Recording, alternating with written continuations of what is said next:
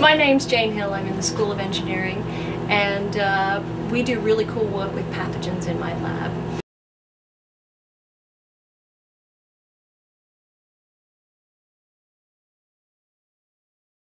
We've just received some tremendous funding from NASA in order to study what happens when our bacteria are sent up into space. Why do we care about this? When humans travel from Earth to Mars, they go on a multi-month trip. During that time, both the humans and the bacteria experience no gravity, weightlessness. And we know that humans, certainly their immune system responds to no gravity and it goes a bit crazy. And the same thing is true for bacteria. So here at UVM, what we're trying to do is understand what happens to bacteria when they're grown under simulated microgravity conditions. We're particularly interested in pathogens such as E. coli, Pseudomonas, Salmonella, some of which you've heard in the news.